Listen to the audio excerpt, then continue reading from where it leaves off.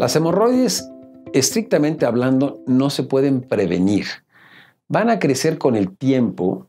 Es tejido propio del recto. A los 10, 12 años de edad, todos tenemos hemorroides cuando menos grado 1, habitualmente más internas y con el tiempo más externas también. Esto lo tiene el 100% de la población mundial, pero al 80% de 75 mil millones de habitantes del planeta no le van a dar lata. Nada más al 20% le dan lata y de ese 20% un 5% acaban yendo al especialista.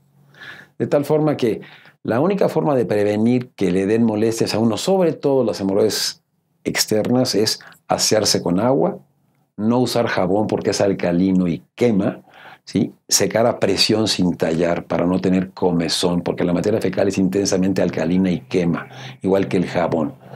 Y en cuanto a las hemorroides internas, para que no crezcan tanto, lo ideal es que el paciente no se estriña. Eso depende del contenido de fibra de la dieta o bien de ayudarse con mucílagos, es decir, medicamentos que tienen fibra artificial que se puede tomar por largos tiempos. Además de bañitos tibios de asiento y que esto puede hacerse a lo largo de muchos años en la medida en que no sea muy doloroso para el paciente los cuadros que presenta, que no sean muy seguidos.